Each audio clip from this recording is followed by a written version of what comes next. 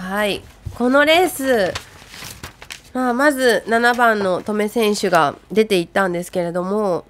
この7番の止め選手がスタート出ていった心理はやっぱりこの動く選手必ず山原選手か尾形真央選手がスタートに来るんじゃないかっていうのを見越して取りに行ってるので、まあ、もう止め選手の作戦勝ちだったっていうところは一つあると思います。で、まあ、昨日のレースのこともありますし尾形真央選手は昨日の山原選手みたいなレースをしなきゃいけないっていうことでスタートを取りに行ったと思うので、まあ、その勇気っていうのはやっぱりビッグレースで先行するのってすごく怖い部分もありますし長い距離踏んだら抜かれちゃうんじゃないかって思うと怖くてできない部分ではあるんですけど尾形選手は昨日のレースで少し吹っ切れたのかなっていうふうに感じました。で、まあ、山原選手は中断だったので、まあ、太田選手の仕掛けに合わせて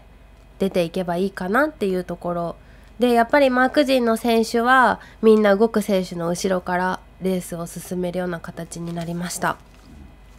でまあ、この辺り6番の下條選手が一旦動くんですけど、まあ、後方じゃもうどうしようもないっていうところで太田選手だったら引くだろうっていう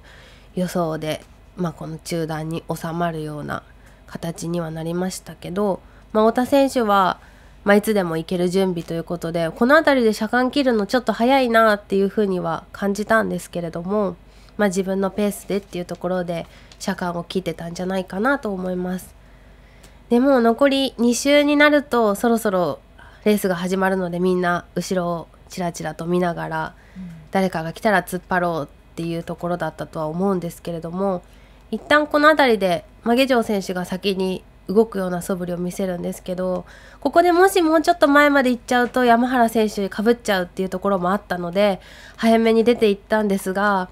まあ、ここで並走になっちゃうともうまくりやすいんですよねまくりごろっていうか、もう後ろは無風で2番と1番が足使い合っちゃってるのでもう太田選手の展開になっちゃったなっていうところで。できるだけ一本棒にしないとまくり不発って狙えないので、